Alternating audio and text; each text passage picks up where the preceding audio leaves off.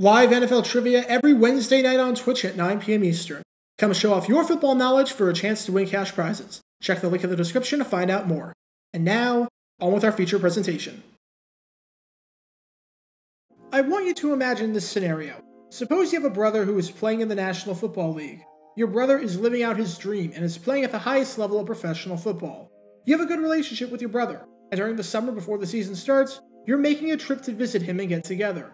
And what starts out as a family reunion of sorts, and what starts out as just a simple get together, somehow winds up with you, completely out of nowhere, getting an NFL contract. You never intended to play in the NFL. In fact, football was the last thing on your mind and somehow at the end of your visit, you wind up getting a chance in the league. It's a story that seems completely made up. It seems too good to be true and seems like a really bad and really cheesy Hollywood movie. But the crazy part about all this is that back in 1983, this actually happened. In 1983, the New England Patriots had a running back on their team named Robert Weathers. For some reason, when Robert met up with his brother Clarence, they decided to sign him and reunite the family. And the crazy move, against all odds, actually worked out. This is the story behind the crazy signing of Clarence Weathers. Before I talk about the signing itself, we need some context to understand just who Clarence Weathers is, and why he was visiting Massachusetts in the first place, because it will help us to understand just how truly crazy this story is. Heck, it might even be up there with Al Davis drafting a player simply because he saw him running around in a gym, or the Minnesota Vikings drafting a player simply because they saw him throwing a football on the sidelines and liked the way he threw the ball. So that raises the question just who is Clarence Weathers, and how did he slip through the cracks in the first place to the point where an insane scenario like this could even play out? Well, he began his collegiate career at Delaware State and joined the Hornets for the 1980 season. Almost immediately, he made an impact on special teams. On September 6, 1980, in the team's first game of the season and in Weathers' first game, he had a 95 yard punt return. To this day, that play is the school record for the longest punt return. Later in the season, in a November game against Central State, he had a 100 yard kickoff return, which to this day is the school record for the longest kickoff return. As a freshman, Weathers set the school records in both of these categories, and still holds them. That season, Weathers had 758 kickoff return yards, which was a single season school record for 20 years before Deshane Dennis surpassed it in 2000. And after just one season, Weathers held the school record for career kickoff return yards. He had a great freshman season, where he was recognized as an All MEAC selection becoming the only Delaware State player that season to be named to the All MEAC first team, and just the second Delaware State kick returner ever to receive this honor. After a fantastic freshman season, how would Weathers follow that up? Well, unfortunately, he wouldn't. He dropped out after his freshman year, and even though he tried to get back in, he couldn't. Instead of withdrawals, he got Fs, and was a college dropout after just one year. I couldn't find anything as to why he dropped out, but whatever the case was, his potentially promising career looked all but over. With that, he began working a construction job down in Florida building mini golf courses. Keep in mind that he went to high school down in Florida at Fort Pierce Westwood. He still played football on the side, playing in a touch football league to keep busy and keep active, but he hadn't played tackle football since his freshman year before he dropped out. However, entering the 1983 NFL season, amazingly enough, that was about to change. The player you're looking at right here is Clarence's brother. This is Robert Weathers. Unlike Clarence, Robert did not slip under the radar whatsoever. He went to Arizona State and played four seasons there, routinely finishing near the top of the Pac 10 in yards per attempt. And with the Patriots wanting some help with their running game, as Sam Cunningham was on the wrong side of 30, was on the verge of retirement, and had declined significantly since his glory days in the 1970s, New England decided to use their second round pick in the 1982 NFL Draft on Robert Weathers. He didn't do a whole lot during that strike short 1982 season, as he only ran the ball 24 times for 83 yards and a touchdown, but the Pats were still pretty high on him. Prior to restarting his construction job down in Florida, Clarence was going to head up to Massachusetts for some family business. This was supposed to be just a quick pit stop. Clarence had another brother who was 15 years old and was about to start school, so he wanted to be there for him when he was starting up. On top of that, he was going to house sit for a bit for Robert. This trip was just about Clarence being a good brother and wanting to help out and be there for his family.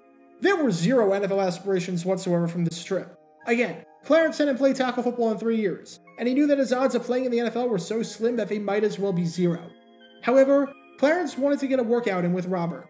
They were just going to toss a ball around. The only difference?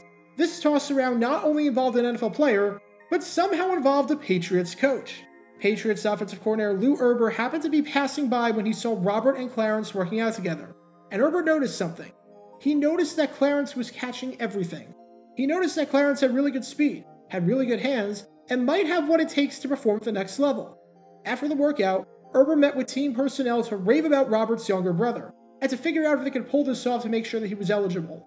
And on July 19th, right as Clarence was set to leave Massachusetts, he was offered an NFL contract. What started as just a family get together turned into a chance to live out his NFL dreams. Now, it was time for Clarence to make it onto the actual roster. Clarence Weathers was in training camp and was the feel good story to root for. How could you not root for a guy like this, who went from dropping out of college and building mini golf courses to now playing in the NFL? But he had to make the team, and that was going to be tough. As head coach Ron Myers said, I don't know if we can find a spot for him. On paper, the Patriots were pretty loaded at wide receiver when it came to guys who were guaranteed roster spots. Stanley Morgan, arguably the greatest receiver in Patriots history, had led the league in yards per catch in three of the past four seasons, and made the Pro Bowl twice in that stretch as well. He was obviously making the team. In the 1983 NFL Draft, they spent two high draft picks on receivers, taking Tennessee wide receiver Darryal Wilson in the second round and McNeese State wide receiver Stephen Starring in the third round. They also drafted another receiver inside the top 300 out of Abilene Christian named Steve Parker. They had Cedric Jones, their third round pick from the year before, who was set to make a bigger impact as a second year player. They had Morris Bradshaw, a nine year veteran who was on Oakland's roster for both of their Super Bowl wins at the time. And they had a few other returning players on the fringe. It was going to be an uphill climb for Weathers to have any shot at pulling this off. However, the Patriots knew that he had talent. Myers said that despite the roster uncertainty, that he thought he was really impressive. Defensive back Rick Sanford said that excluding Morgan, Weathers was the best receiver in camp. And that's high praise from Sanford, who was a former first round pick and had been in the league for quite a few seasons by this point. And when cuts were made, one by one, Weathers survived. He thought he didn't have a shot at making it. As he later said, mentally, my bags were packed. I was ready to go back and get my construction job or maybe wait for the NFL. He was thinking about joining the Army. Fortunately for him, he didn't have to, because when the final cuts were announced, Weathers was on the team. He was in disbelief, saying that his whole thing was like a dream come true, and was the equivalent to winning the Super Bowl. Against all odds, Clarence Weathers was somehow now in the NFL, and as it turns out, he absolutely belonged there. Remember what Sanford said about Weathers probably being the second best receiver on the team behind Stanley Morgan? He wasn't kidding. In 1983, Weathers was probably the number two guy behind Morgan. New England didn't have a great passing offense that season, as combined with the mediocre play of Steve Grogan and the poor play of rookie Tony Eason, they finished 21st out of 28 teams in passing touchdowns and 25th in passing yards. But Weathers was a bright spot, as he caught 19 passes for 379 yards and 3 touchdowns. In fact, there was one game on November 6th against the Buffalo Bills where Weathers had two catches for 98 yards and two touchdowns, as New England won 21 7. That was a big win for the Patriots, as it brought them to 5 and 5, keeping them right in the thick of things for the postseason. And it would not have been possible without the play of Weathers. After the 1983 season, the Pats signed him to a three year contract extension. General Manager Patrick Sullivan said that Weathers wholeheartedly deserved the extension, as he did quite a few things in 1983 to impress the team. While an injury kept him out for the first half of the season, when he came back midway through in a game against the Miami Dolphins, he picked up right where he left off, as even though the Pats lost to Dan Marino's high flying team by a final score of 44 24, in the first half, Weathers scored on a 14 yard touchdown pass from Tony Eason. Unfortunately for Weathers, this is where his Pats career would come to an end, as midway through the season, Ron Meyer was replaced with Raymond Berry, who wasn't as impressed with him. The Patriots cut him at the end of the 1985 preseason. But that's not the end of his story. Far from it, in fact, because Weathers would continue to play in the NFL. He spent the next four seasons as a member of the Cleveland Browns, and had some absolutely critical touchdowns with the team. He scored the go ahead 68 yard touchdown in a 1985 game against the Houston Oilers. Later that same year, he scored a 25 yard touchdown in the fourth quarter against the New York Giants that wound up propelling them into the postseason. And in a 1988 game against the Dallas Cowboys, with the Browns leading 17 14, Bernie Kosar hit Weathers for the dagger on a 36 yard touchdown in the fourth quarter to put the game out of reach. After bouncing around the league for a bit after that, going to Indianapolis, Kansas City, and Green Bay, Weathers was out of the NFL by the end of the 1991 season. And when you look back on it, the career that he had was absolutely incredible. Robert Weathers was a second round draft pick in 1982. He did not slip through the cracks. He was a highly touted player who was projected to have a long career in the NFL by some. He only lasted five seasons and scored four touchdowns. Robert was out of the NFL after the 1986 season.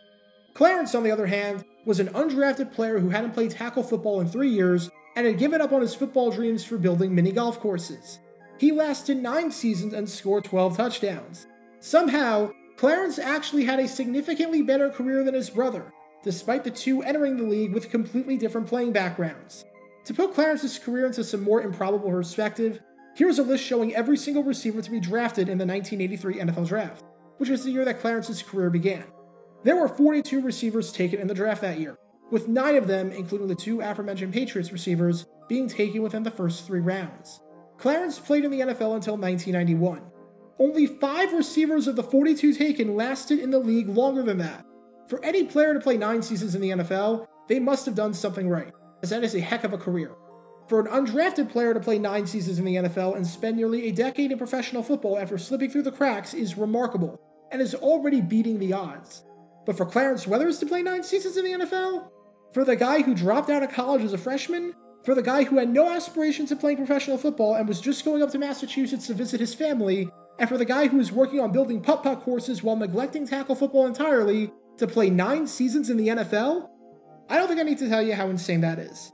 If any Hollywood executives are watching this video for some reason and you need a feel good sports story, this is the one right here that has slipped under the radar that is right up your alley for the taking.